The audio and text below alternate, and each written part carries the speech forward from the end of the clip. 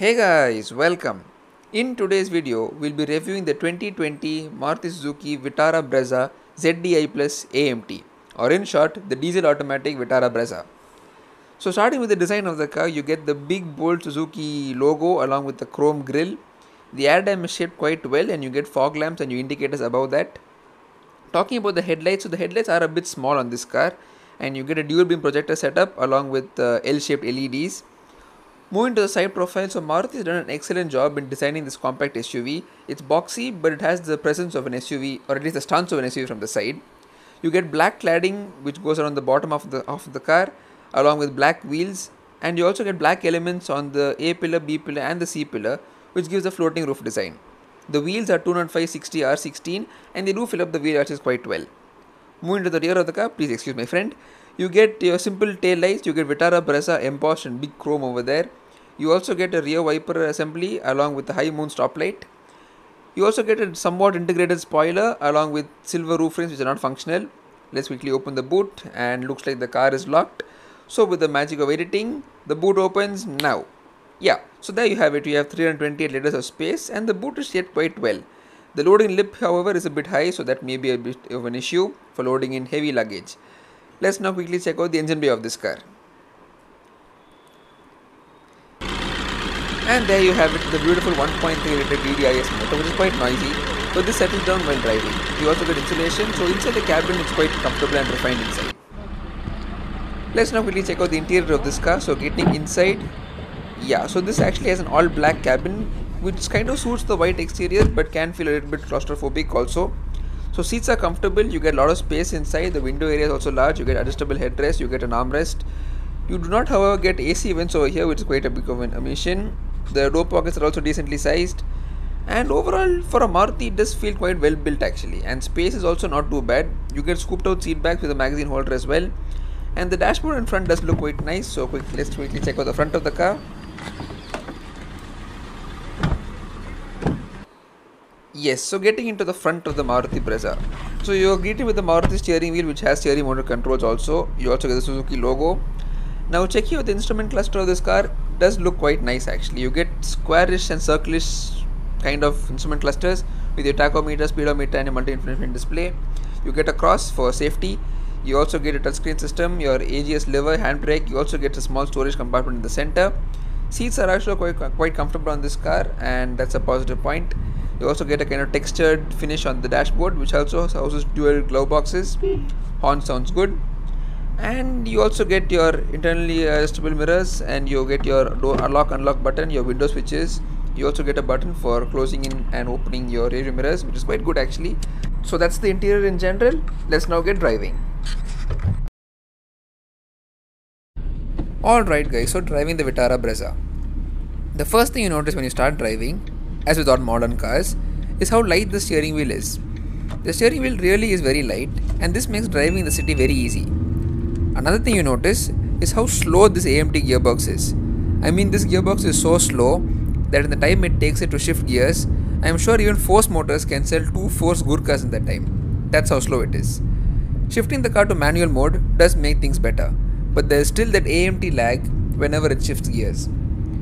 To put it into perspective, when the car is in automatic mode, it takes 14.5 seconds to go from 0 to 100, and my 15 year old Ikon can do it in 14 seconds.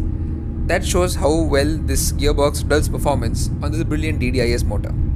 Moving on to the engine in this car. So, the engine in this car is India's most famous diesel engine, the DDIS motor, with 90 bhp and 200 Nm of torque. This engine has powered almost every single Maruti upwards of the Swift in either 75 bhp or 90 bhp forms.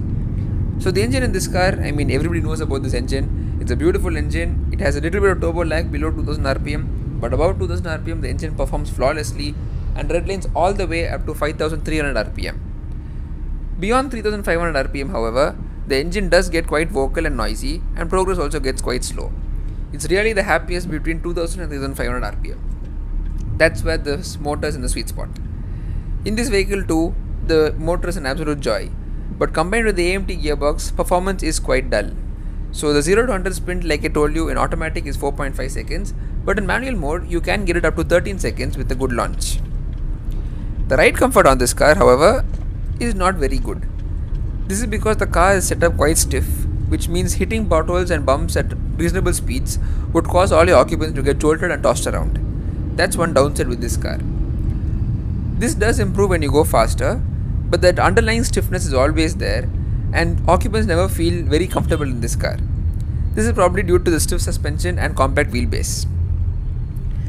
Talking about handling. So handling department is quite good with this car. I mean it's a neutral handler, but the steering does not offer a lot of feel and feedback and it does feel quite vague in the center head position. Also while taking turns, due to its high center of gravity, you don't feel very confident in that. But the high center of gravity has a good advantage too, and that's its visibility.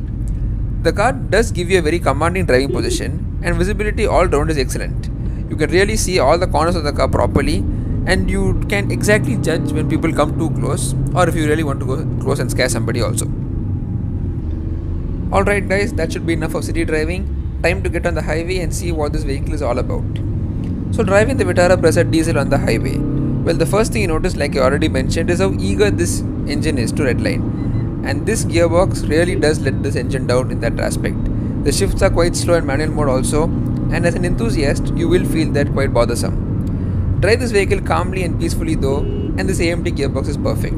It shifts quite smoothly, and manual mode also, it does give you what you want.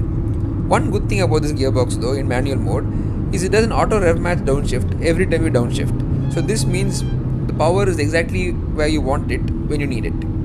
This is one good thing about this AMT gearbox.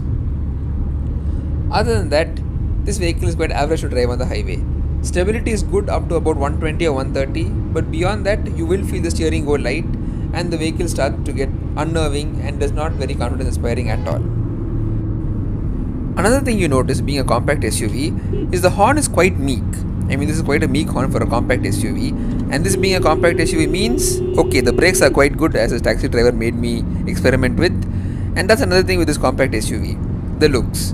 While it does look good in city traffic, out on the highway, it does not have the boostness of an SUV, and people will tend to mistake you for being a hatchback and try to take the upper hand, especially when it comes to road rage. So you, that's one thing you do need to be careful about.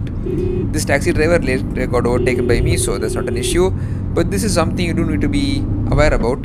If you think a compact SUV will give you the same road presence or proper SUV.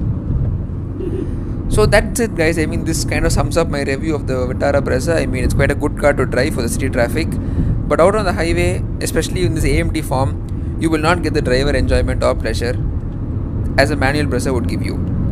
And that brings me to the Maruti Brezza in general, because this car is not available with the 1.3 DDIS motor anymore.